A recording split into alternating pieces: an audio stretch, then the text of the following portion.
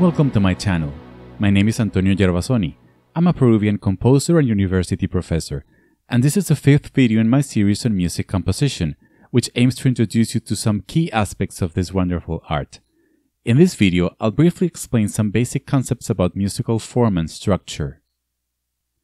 In a previous video, I mentioned that music can be arranged in the same way as a speech, and even if not, the audience will probably think it is. So if a speech has structure, and most of them do, music should have one too, and I showed a basic three-part structure that is generally used in both speech and music. I remember the moment when I realized that music has an underlying structure.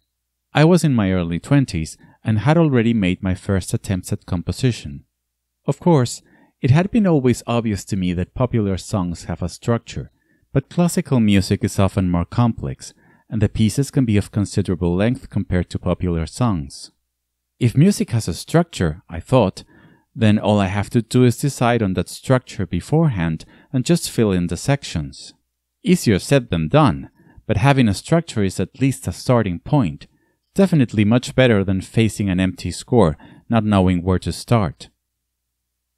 As in literature, musical works mostly use a series of structural elements that are organized in a certain way to create the feeling of a logical and coherent discourse.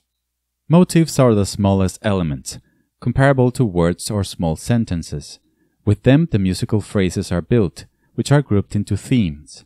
These, in turn, are grouped into sections, which function similarly to chapters in a book or scenes in a play or movie. A musical work is normally composed of at least two sections, which are generally repeated in the same order. In classical music, it is common for several works to be grouped into a larger structure such as the movements in a symphony or a piano sonata. Most musical works are organized according to these concepts, but there is music that doesn't use structural elements or that is not organized according to a narrative scheme. Its effect is perhaps comparable to that of abstract painting. However, in this video, I'll only refer to the first case. A motif is a short musical fragment that occurs in a recurring way and that has a special importance in a composition. It is commonly considered as the smallest structural unit with thematic identity. A motif can have melodic, harmonic, and rhythmic aspects, all equally present or in different combinations depending on their relevance. A melodic motif, the most common, is a melodic formula, a small group of notes.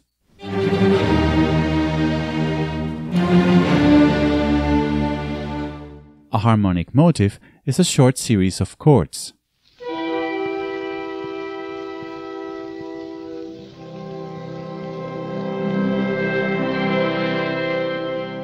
A rhythmic motif is a characteristic rhythmic formula.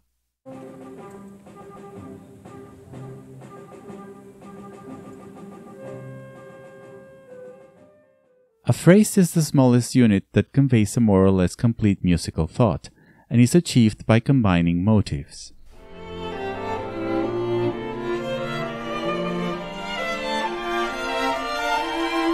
Some terms of the linguistic syntax, such as sentence and verse, have also been incorporated into the musical vocabulary, although the comparison is rather ambiguous. Phrases vary in length and end in a point of total or partial rest. The term phrase should not be confused with that of passage, a passage is a musical idea that may or may not be complete or independent. That is, it can be a phrase or any fragment made up of several phrases, complete or partial. The union of several phrases gives rise to a theme, a recognizable melody on which a part or all of a composition is based.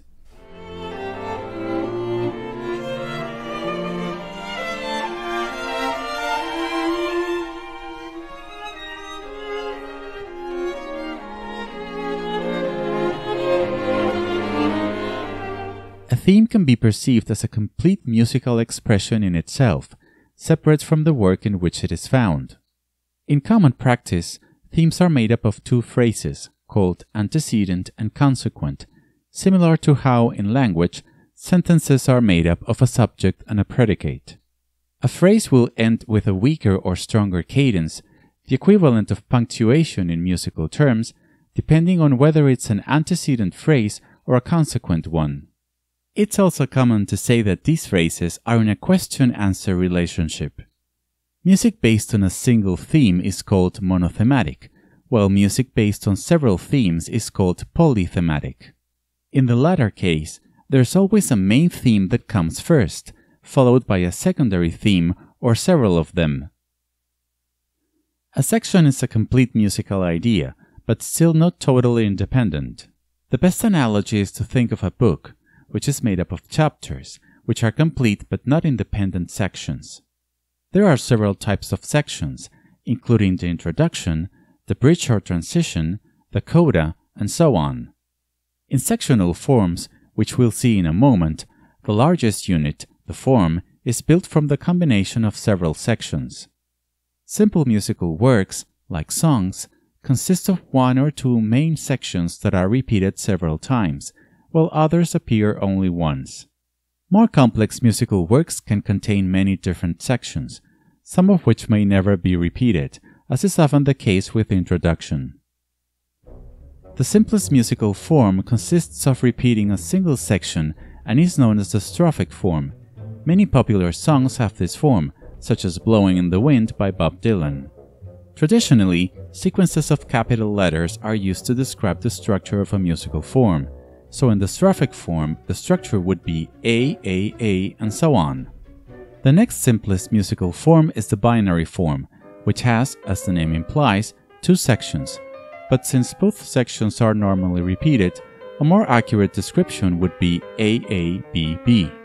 Likewise, the binomial formed by the two sections is normally repeated several times, which gives rise to other structures, such as these.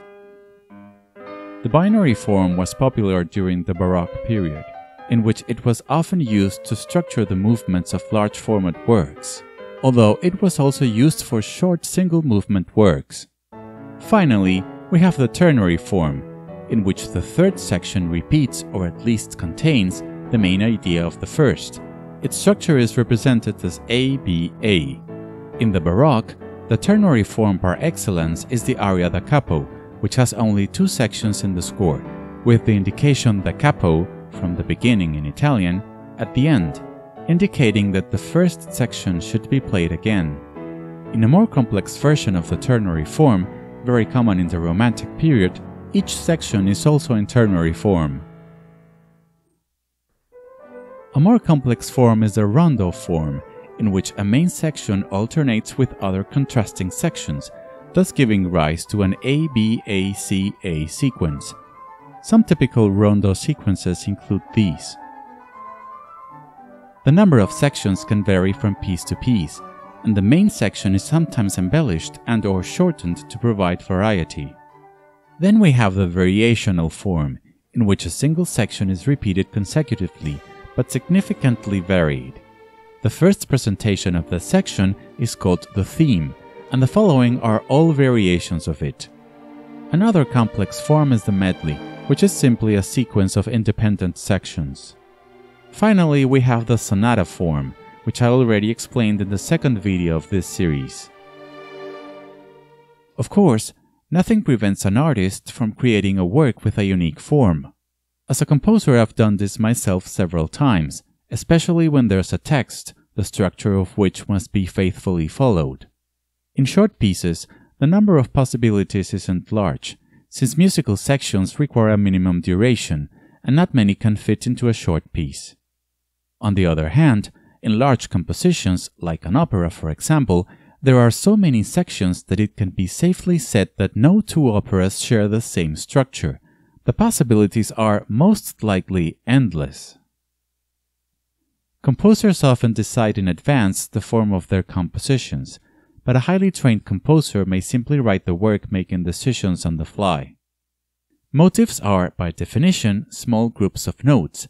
Even something as simple as an interval, that is, two notes, can be a motive. In fact, they are so small that they normally don't span more than one measure, but that's not a rule. A theme doesn't always have to consist of two phrases, and even if it does, the phrases don't have to form an up and down pattern.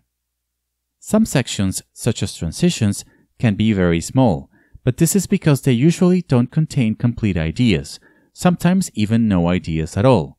Sections that present complete ideas, such as themes, require further length or will run the risk of feeling incomplete. Today, it's rare for composers to write pieces with overused forms. Most composers prefer to show some originality in the structure of their works. However, it's not uncommon to start with a traditional form and transform it into something more unique. Thank you for watching this video and subscribe to be notified when I post a new one. I give private lessons online on composition. If you want to know more, click on the linked video or visit my website. The link is in the description below.